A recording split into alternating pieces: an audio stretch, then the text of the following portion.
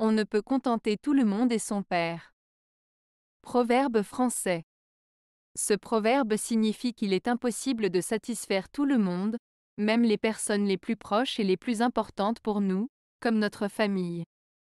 Il est important de faire de son mieux pour répondre aux attentes des autres, mais il est également important de se concentrer sur ce que nous jugeons être bon et juste, car il sera toujours impossible de plaire à tout le monde.